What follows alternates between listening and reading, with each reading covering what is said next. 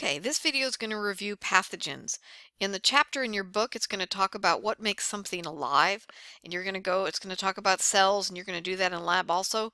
But what we're talking about now are pathogens, are disease-causing organisms. One type of cell that causes diseases, but in many cases is not, is bacteria. Uh, bacteria, here comes a picture of it for you, one of them. All right, they're prokaryotic, which you're going to look up in your book, and you also see that in lab. You'll talk about it there. They're very, very small. You can't see them uh, with the naked eye. Uh, they're all around you. They're everywhere. I mean, they're everywhere on Earth. They're just everywhere. Um, most of them, the majority, do not cause you to get sick. So we have this image that bacteria are bad, when in most cases they are good for you. And yes, there are some that will cause you diseases, but there are many that will not. So they reproduce very quickly. They go through mitosis, which you'll talk about at some point. When it says some bacteria here, it should say most. Most bacteria are good for you or at least will not hurt you. You have 10 times more bacteria in your large intestine than you have human cells in your whole body. All right. Now others will make you sick, um, especially if it's off balance, if there's a lot more bad than good. And antibiotics. Antibiotics are one of the greatest discoveries discoveries ever. Um, in terms of being able to control a bad bacterial infection, they will hinder the growth and, and or destroy the bacteria.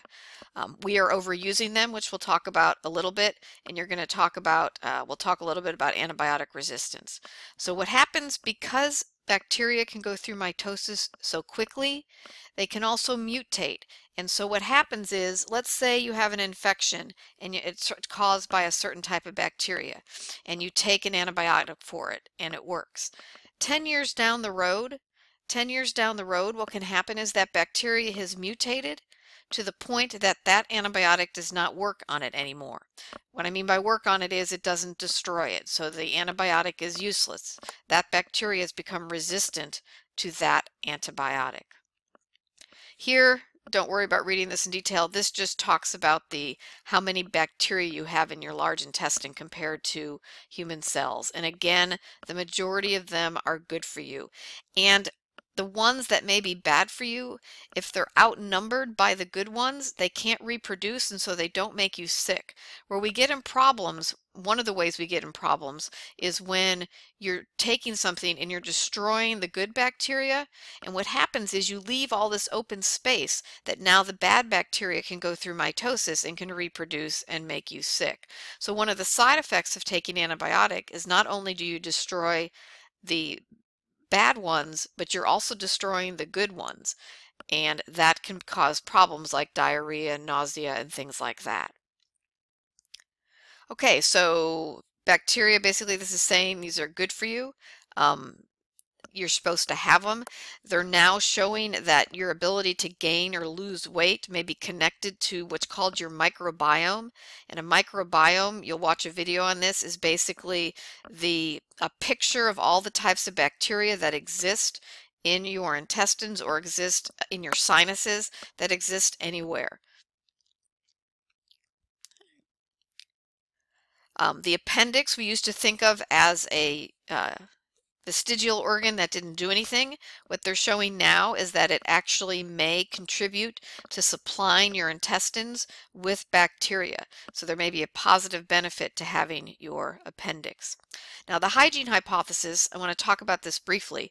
We have this tendency, and if there's one thing, couple things you get out of this class is is this. We have this tendency to use antibacterial everything. Um, you know, soap, shampoo, whatever. Pretty soon they have antibacterial toilet paper. But what happens is we're cleaning up not just the bad bacteria, but the good bacteria. And so imagine a large table that you're going to clean, and on that table are millions and billions of bacteria. And maybe there's one or two bad ones on that table, but they can't reproduce because there's no space for them. So what happens is you go over it with an antibacterial soap, but you miss some spots. And what you did by accident, not even knowing it is, you killed a lot of the good bacteria, but you didn't kill the bad. And so now what happens is that bad bacteria has a lot of space to reproduce and go through mitosis. And now that bad bacteria takes over. So if I can recommend anything to you, it's do not use antibacterial stuff. Now this hygiene hypothesis, the more research that is done, the more they're finding it to be true. That we have this tendency to raise children in very clean, too clean environments. So you buy antibacterial this, you buy antibacterial that, you don't let your child, you know, go on the floor, you don't let them play in the dirt. They are born with not a very strong immune system. But that immune system is maturing as they age. And so what they're thinking is, and the research is backing this up, is that if they're not exposed to anything bad, their immune system doesn't know how to respond. And then as they get older, if they're suddenly exposed to something like cats or to peanuts or something like that, their immune system hyper responds to it. And that's really what an allergy is. It's a hyper response of the immune system. So studies that support, th support this have shown that children that are raised in households with cats and dogs are less likely to get asthma or allergies, and asthma is kind of an allergic inflammatory response. Kids that play in the dirt more are in a dirtier environment actually have stronger immune systems. So the hygiene hypothesis is saying that do not raise your child in such a clean environment. Raise them in an environment where they're exposed to different different bacteria and different things in the environment so their immune system learns how to react properly to them. And again, it's not it's a hypothesis, but more and more research is showing it to be true. This is just, again, you don't need the details here, but salmonella, it can show you, this is a bad bacteria that can make you very, very sick. Um, again, in large amounts it will do it. Some E. coli are good for you, others like below are bad for you. So again, there's different uh, species of different types of uh, bacteria. Some are good and some will make you sick. Okay. Viruses, viruses are different in that they're smaller than bacteria. Technically, we don't really call them alive. Um, they actually need they need to live in another cell in order to survive. They're basically DNA and protein. So what happens is they don't have the cell parts that you're learning about in the chapter. They don't have those cell parts, so they can't reproduce on their own. So basically what they do, to show you here, these little proteins sticking out, these are three different viruses. What they actually do is they kind of trick a cell. They knock on the, the cell membrane of the cell, like knock knock, and the cell says who's there and the virus says oh it's the Avon lady and since the cell just happens to need lipstick it lets the virus in and so the virus has tricked its way into the cell and then what the virus is going to do it's going to insert its DNA into the cell's DNA and then that DNA of the virus is now in the cell DNA, it's now going to use the cell parts with that DNA in order to make more and more copies of the virus until until there's so many viruses in that cell that the cell explodes, kind of breaks apart, and the viruses then go off and try to trick other cells into letting them in and reproducing. So they take over a cell, just like I said. So they're not considered considered living by the definition of alive, but obviously they can make us sick. The flu, the cold are all, all caused by viruses.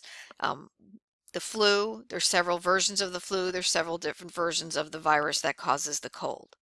Antibiotics do not work on viral infections. So if you have a cold or the flu, unless you're really, really sick, sometimes they will give you an antibiotic to make sure, um, because your, if your immune system is suppressed and not working very well, they don't want you to get a bacterial infection on top of it.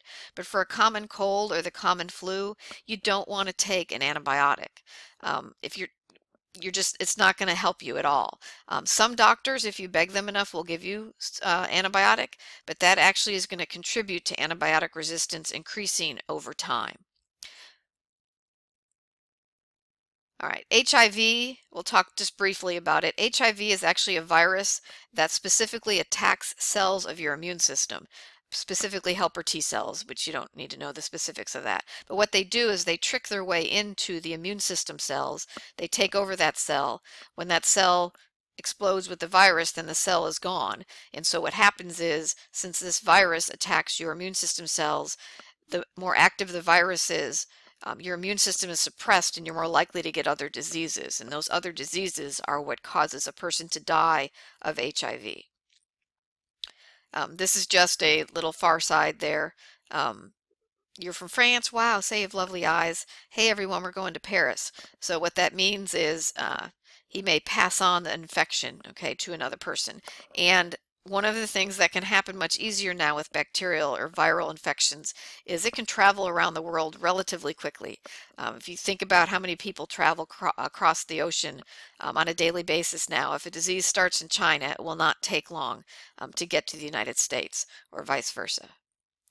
This just shows you the most dangerous type of flu viruses are those that um, may infect birds, but then mutate enough that they can infect a person. And since the person, people are not have not been exposed to this type of virus, the death rate can be much higher. Same thing when a when a virus from a pig mutates enough that it can now infect humans, that those are the most deadly types of viruses. Um, if our body has never been exposed to a virus like that, uh, it's more, much more likely to have a higher death rate. Okay, parasites. Parasites are large multicellular organisms. Uh, the most common one you'll hear about with water is Giardia. Giardia, here's coming at you. Giardia is multicellular. If you put it under a microscope, you could see it swimming around. Um, it comes from animal feces, and so when you look at that nice you know, nice water in the spring in the creek as you're walking along and it looks all clean. Um, what you have to think about is that maybe upstream there's a raccoon or a squirrel pooping, okay, into that water. And most people will not die of Giardia, but you will feel so sick that you might wish you were dead while you had it. Um, it can cause severe diarrhea and you can die from that from dehydration. I have this elephant picture here because uh, several years ago I went to South Africa and we took this little Mokoro, which is like a canoe, and we, the, we had our Mokoro driver he had a big stick and he was taking us out to see the hippos. And as we were going, um, he was drinking water straight out of the, the river we were in, which I just couldn't imagine doing. And not only that, some uh, elephant poop had floated by, and like right after it floated by, he grabbed some water and drank it. And then he's like, "Would you like some?" And I'm like, "No, that's fine."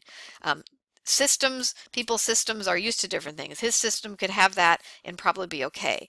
Um, my system could not, and our system could not. We're just not used to those kind of things in our water. Okay, this is just a little fact here. Don't worry about that. All right, next one is fungus. Uh, fungus, a mushroom walks into a bar and asks for a drink. And the bartender says, we don't serve mushrooms. And the mushroom says, but why? I'm such a fun guy. But um bum chink. That's your stupid joke of the day. All right. Fungi are eukaryotic cells like other animal cells. They're difficult to treat because they are so much like our cells. So if you've come up with something that kills fungal cells, you also have a good chance there's going to be side effects in killing human cells. Fungal infections are not going to kill most people unless their body is immunosuppressed due to HIV or some other reason. Okay, athlete's foot is a fungal infection. I'm going to show you kind of a gross picture. So you're ready. Close your eyes if you're not. Okay, so it's a fungal infection. Um, this is a pretty severe case. It's difficult to treat um, because you if you treat it internally, well, it's difficult to do that, but even if you uh, treat it externally, when you put some of those drugs that are out there on that, it's not like boom, you put them on for two days and it's gone.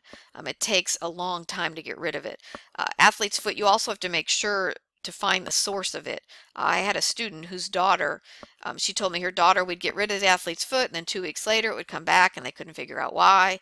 And it turns out that um, she was divorced and her daughter was going to visit her ex-husband or, or, the daughter's father and it was in his it was in his shower so they had to make sure um, they had to make sure to clean out his shower and that's where she was getting it every time she would go visit him so we talked about the hygiene hypothesis and not being too clean but if you're going into strange showers I would wear flip-flops why take a chance with it fungal infections under the toes um, to treat those orally internally, you have to be on the drug for a long period of time. And that's because you can't give them too strong of a drug because, again, it can have negative side effects on human cells because they're so similar. Prions, um, these are pretty interesting. They are just proteins. They don't even have DNA. They enter cells of the brain and cause the normal proteins in the brain to convert. And then what happens is these proteins fold funny and then the cells are destroyed. So it will actually cause holes to form in the brain and they cause the type of disease called spongiform encephalopathies, which basically means uh, here is brain, here is disease, here think of the word sponge. You probably have heard of some of these. Scrapie and sheep and goats are caused by these. Mad cow disease. This means central nervous system. So what happens? Here's a pissed off cow. So what happens is these get into the cow's brain, and then it causes these uh, holes to form in the brain, which obviously is going to change the behavior of the cow to the point that it does not survive. In humans, there is a disease called Creutzfeldt-Jacobs disease that is similar, caused by caused by the same prions, and this is named after the two doctors that actually came up with uh, what we, they get to name the disease, or the disease was named after them because they put so much effort into figuring out what was causing it. Um, in Australia, with the Aborigines there, they saw a large number of deaths in females and in children and they would act kind of like the cows. They would get unbalanced, couldn't think straight, and boom, they would die. And what they found was, and it took years for them to figure this out, is when in the tribes there, what was normal was when a person died, the children and the women would prepare the body. Um, and part of that preparation involved actually eating the brain. And so what was happening is by eating the brain, they were getting these prions and then passing the disease on to mostly women and children. Um, there was some issues with could, if you ate meat um, from a cow that had mad cow disease, could you develop Creutzfeldt-Jacobs disease? In the 1980s, it was found, while very rare, that yes, it could be passed from cow to human or from eating meat. Now, when you eat the meat of a cow, you should not be eating their central nervous system. So if treated properly, it should not be an issue. In 2003, in the United States, in, in, in Washington state, uh, there was found one cow that had mad cow disease. They destroyed that cow. They destroyed all the herds of cow. Every farm in the area, all the cows were destroyed. And even with that precaution and the fact that they know it didn't get into the meat supply, um, several countries would not take our hamburger or our meat from cows for several years. Okay. All right, we're not going to do this. So that's just the basics of the different types of pathogens. Um, know the basics here. You'll see questions on the test, and it's also going to help you with the um, it's also going to help you with the case study that you're going to do, look at looking at the microbiome and looking at antibiotic resistance and so on. If you have any questions about anything like this, uh, please just let me know.